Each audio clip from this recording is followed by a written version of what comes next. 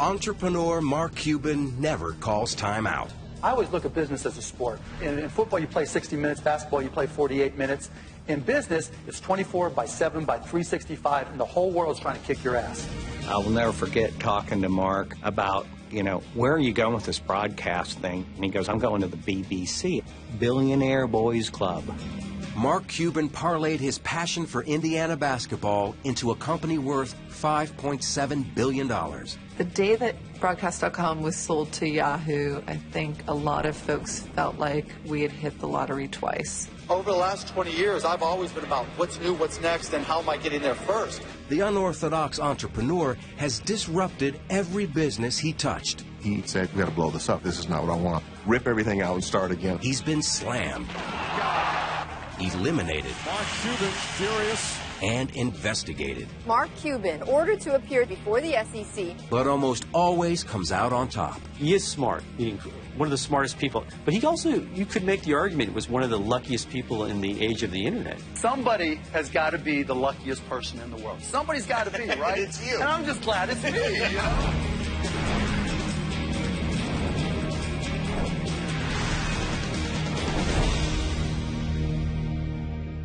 Appears that they are for sale on a game by game basis, but I can't figure out how to buy them. So Mark Cuban got in at the beginning of the internet boom, and it served him well.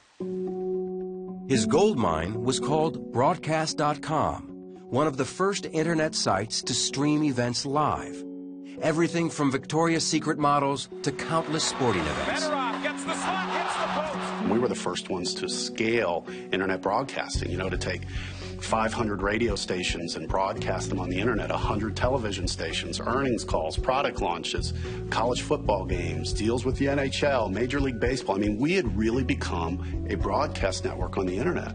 The fiercely independent entrepreneur has blazed a trail into TV, movies, NBA ownership, and he even stars on a TV show, though he declined to participate in this one. Mark has been an entrepreneur from the moment the word was invented before it meant drug dealer.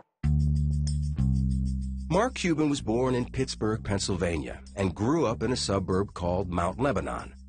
From the get-go, Cuban was a moneymaker, selling trash bags, newspapers, and even postage stamps. I started a stamp company. I started with a quarter and bought a stamp and left with $50, thinking, hey, if I could do this, I could do anything. By the time he was 16, he had already built a reputation. Brian Cuban is his younger brother. I remember Mark being given $5,000 by one of our neighbors to go buy stamps in New York with my father. You know, he was always the entrepreneur at stamp shows. But that just shows you, at that age, what people thought of his ability to make money. That skill only grew at Indiana University. The tireless business major taught disco, started a chain letter, and decided to run a bar if he could come up with $15,000. Evan Williams was an engineer at General Motors who played on the school rugby club with Mark Cuban. He was at my house one day. He was calling banks to try to get a loan so he could buy this bar. So on my way out, I said, Hey, Mark, if you have any problems getting that loan, just give me a call. Two days later, he goes, Hey, Ev. So I ended up late 1979 loaning Mark $15,000 so he could buy a bar in Bloomington. Cuban awarded Williams stock certificate number one, and within months opened his bar, Motley's. Wayne Winston teaches graduate statistics at Indiana University. In my over 35 years of teaching, I've never had a student really start a business while they were an undergrad or an MBA here on campus. And he started Motley's, which became by far, I think, the best bar in town. The business model he used in Motley's is very close to the same business models he used in his next two or three businesses. He always would have 51% of it, even though he didn't put up any of his own money, but no one really complained because he was the one that built up the business. Until it came crashing down after a wet t-shirt contest. It's pretty common knowledge around town. An underage girl won a wet t-shirt contest. And so I think that hurt the future of the bar, let's put it that way. Cuban graduated and soon landed in Dallas.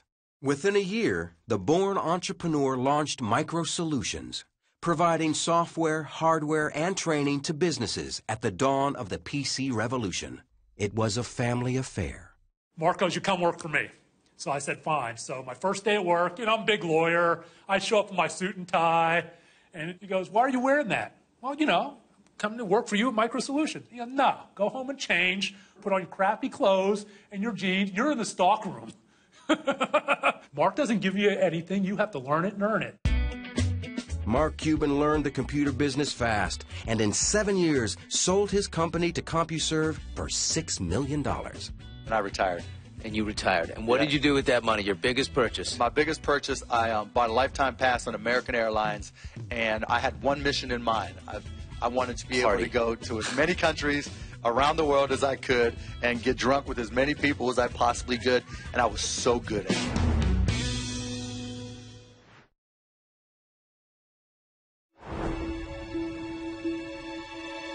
In 1995, Mark Cuban came out of early retirement to reinvent radio. According to Cuban, college friend Todd Wagner brought him the concept.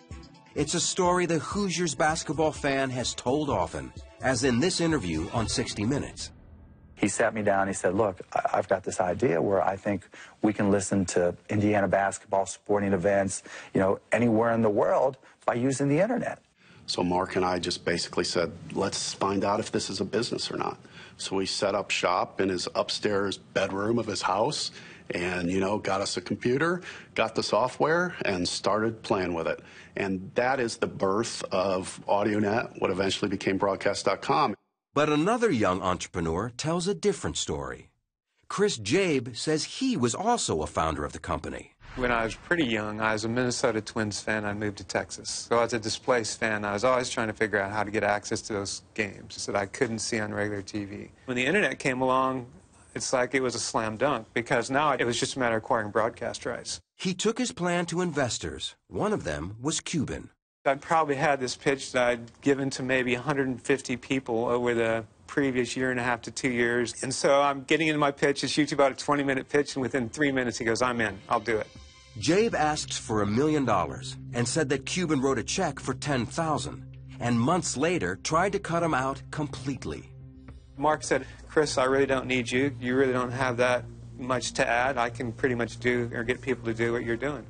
So I was a little bummed, to say the least. And I really give Todd a lot of credit. When he came to me and said, you know, we can work a deal with, you know, for 2500 a month and 10% of the company, in the way he described it and the way he showed me the paperwork, I knew it was real. And it really made me feel really good, actually. Even though it was hard to take 10% of a company that I developed 100% from scratch. Cuban became the driving force of AudioNet. Mark overall really wanted to see it as his company. He had made it gone from really an idea to reality. He never really wanted to acknowledge me as a founder. But co founder Todd Wagner does acknowledge Jaeb's participation. He was there for a very brief period of time, and then he went on to the next thing. He owned a slug of equity and did just fine. AudioNet did better than just fine. Never before in the history of the world can you come in and listen to almost any team from anywhere in the world. You know, a little PC and a connection to the net, and you might as well be sitting in Bloomington, Indiana. Then You go back in there, and all they did was have all these servers with all these different sporting events going on and people trying to keep the servers up. You're like, what is going on in here? They're planning a nuclear strike. And, you know, but it was controlled chaos in there, keeping all those servers up and all the, the game streaming. It was pretty cool.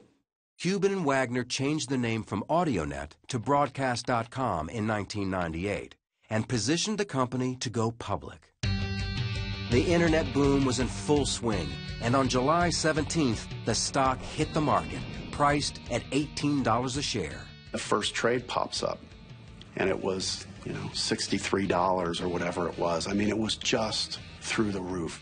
Nada Usina led the sports properties and marketing departments at the company. I recall our head of HR popping her head out of a cube like a game of whack a mole and saying, We opened at whatever the number was. And everyone looked up and we thought, She missed by a decimal. She must be wrong and we all started to look and you could just see heads popping out and the excitement in the room it was literally like a parade went off the stock closed at 62.75 At the time, it set a record for the highest percentage increase on an opening day. I'm the first to realize that luck plays a huge part in it. Um, I happen to, to have a company, broadcast.com, that went public at the right time when the internet stock market was going nuts. Cuban wanted to expand their content and was looking for a breakout event. He found it in lingerie. There were a lot of pinnacle events for broadcast.com, and one of those was certainly the Victoria's Secret webcast. Wrapping high tech with high fashion, the webcast was a phenomenon. Millions of people tuned in, and it became the largest viewed event ever on the web. We like to position it as uh, the first sold out event on the internet. It helped to cement us as the go to place if you wanted to do something multimedia on the internet.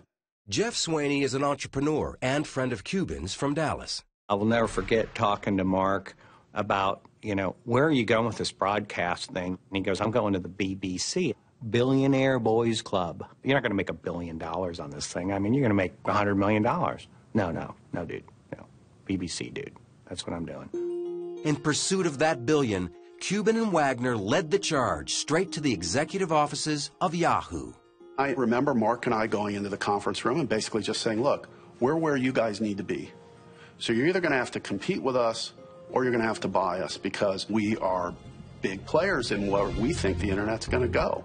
Yahoo felt the breath of competition, according to Paul Saffo, a leading technology forecaster. It's a moment where there's a sense of the rise of the machines. Algorithms in the form of Google are really taking over the search space. And it's beginning to dawn on people that, in fact, there is a lot of volatility in customer loyalty around places you visit on the web. I can remember going to Yahoo, and you could just feel the anxiety at the company of how do we bulk up our technology side.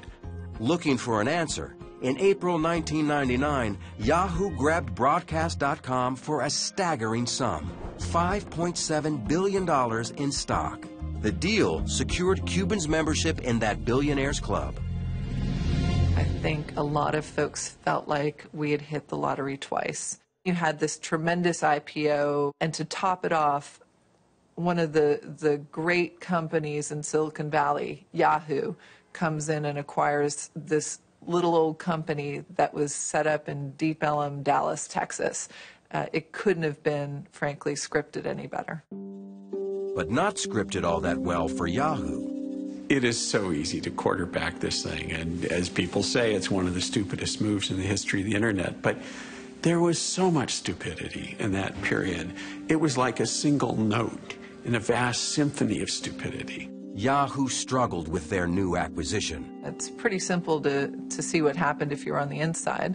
Uh, you had a $5 billion acquisition handed to a number of MBAs who had never actually integrated anything before. Yahoo really took a pounding. They took their eye off the ball of search, which opened the door for Google, who smoked them. Within months of the buyout, Cuban protected his stock by buying puts and calls against his interest and began to cash out, buying a 24,000 square foot mansion and a $41 million jet. But his next purchase would be the billionaire's prized possession.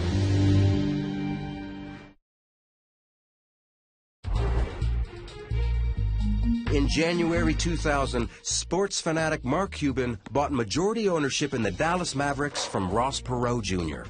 It was the crowning purchase for the billionaire with the insatiable desire to win, except that the franchise had one of the worst win-loss records of any team in the NBA.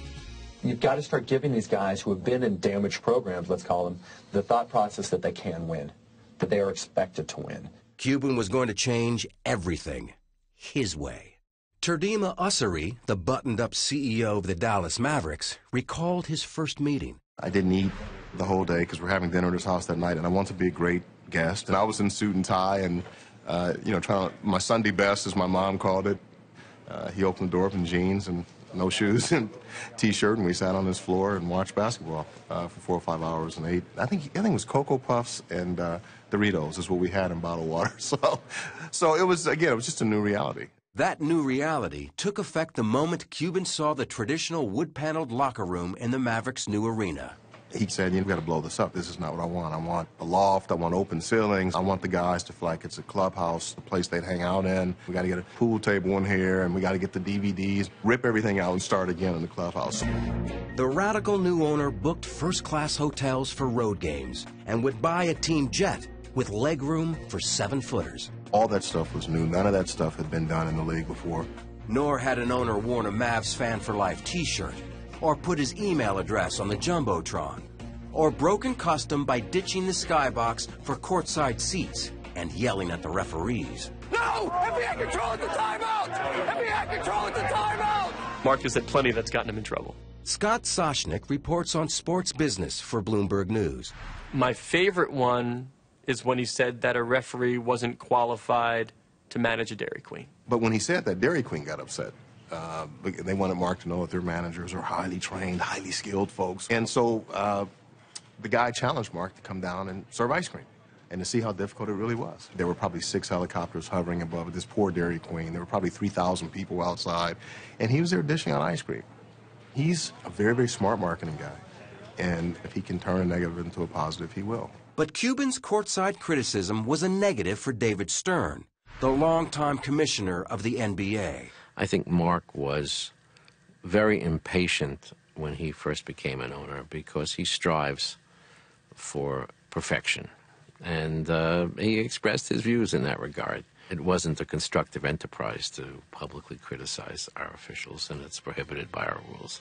Those rules resulted in Cuban's first fine of $5,000, followed by fines of $15,000, $25,000, 250,000, 100,000, 10,000, and 100,000 again, all in his first full season as an owner. My job is to, to stand up for my, for my guys, and if I think something's wrong, I'm going to do something about it. Reporter John Swartz followed Cuban's career for 13 years. That connects with people.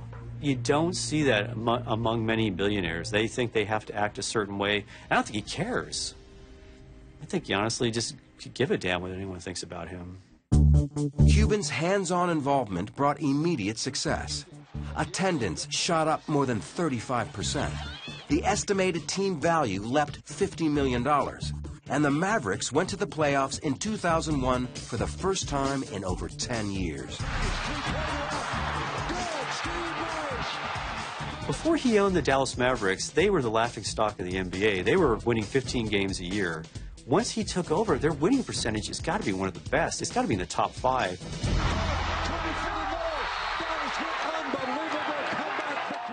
Despite their surging success, that year the Mavericks fell short of the championship. And success for Cuban in the film and TV business was also proving elusive. At the dawn of HDTV in 2001, he launched the first high-definition television network called HDNet, as he explained to Charlie Rose. We're available on cable, we're available on satellite, but viewers can go knowing that not only are they going to get great entertainment, but they're going to get great entertainment in the best possible picture quality. The network sputtered, barely reaching 350,000 homes in its first year. Cuban hit pause long enough to marry longtime girlfriend Tiffany Stewart, throwing a reception bash on his home court, the American Airlines Center. By 2003, he reteamed with Todd Wagner and plunged into the movie business. We bought Landmark Theaters, which was a national independent theater chain. We invested and then bought Magnolia Pictures, a theatrical distribution company. We built on a home entertainment unit as well to that. And all of a sudden, we had built a vertically integrated media company, meaning we had production, distribution, and exhibition all under one roof in a way that, frankly, we had not seen done before. It gave Cuban the pieces to shake up the movie business by releasing a film in theaters, on DVD, and TV simultaneously. Andy Fixmer is an entertainment reporter for Bloomberg News. Back then, nobody was doing this. Nobody even thought that you would dare put a movie on television before it was released in theaters. It just wasn't done. Cuban's movies met with mixed success. Some films, like Good Night and Good Luck, had found critical acclaim and a niche audience, while others struggled. And there was a disappointment again on the basketball court. Star Dirk Nowitzki led the team into the finals in 2006. The Mavs were up two games to none when momentum suddenly shifted. And the team dropped three straight. Cuban was livid. When he was pissed, he may as well have been Satan. The players literally ran the other way in the locker room. The Miami Heat are champions of the basketball world! After their collapse in the championship, Nowitzki publicly called for Cuban to control his temper. For the owner who hated to lose, the loss was pure devastation. I believe he didn't leave the house for three weeks, and he became a shut-in. So what did it cost him? It cost him his dream. Really, his dream was to turn the Mavericks into champions.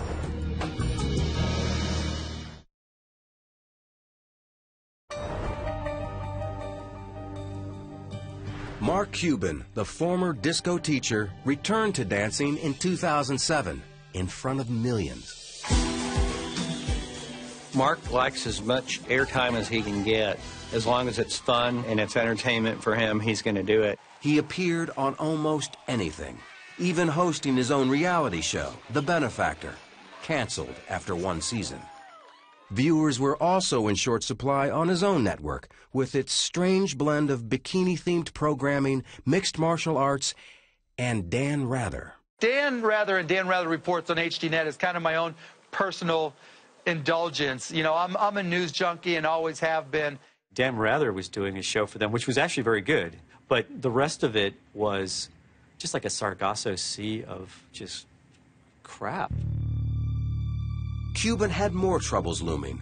The Securities and Exchange Commission filed a suit against him. We're going to turn now to the crackdown on insider trading, and it has ensnared billionaire Mark Cuban. The SEC alleged that Cuban dumped 600,000 shares of Mamma.com as an insider trade. The 2008 lawsuit from the SEC says he sold shares of the company ahead of the company's own plans to sell more discounted shares to investors and avoided three quarters of a million dollars worth of losses. On his blog, Cuban stated the claims were false. The suit was dismissed in district court, but the SEC appealed and the case was reinstated in 2010. While Cuban battled in the courtroom, he also prepared for battle on the basketball court. He dealt for key players, hired a new coach, and in 2011, the Mavericks fought their way back to the finals. Surprising everyone, the loudmouth behind the team bench went silent. It was different. I mean, still people went up and talked to him, but he said, not today, not me, talk to the players. With Mark in the background, it was this other guy, Dirk Nowitzki, and the team that Mark had assembled that in the end was able to win. What he's always dreamed of.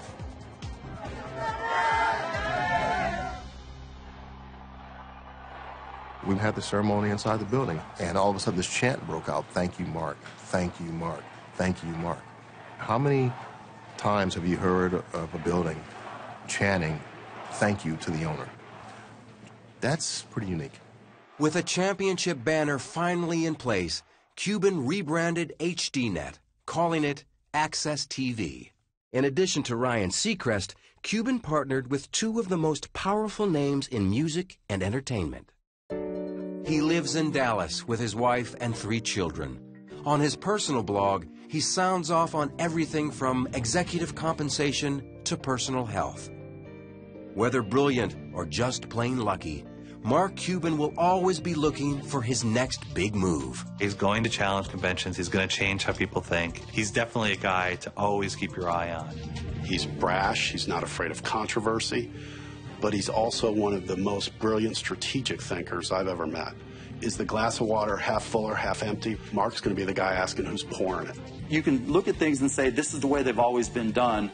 I like to look at it and say, well, if everybody's doing this way, that's not where the future is. You have to look somewhere else. And, you know, if that pisses people off, that's their problem.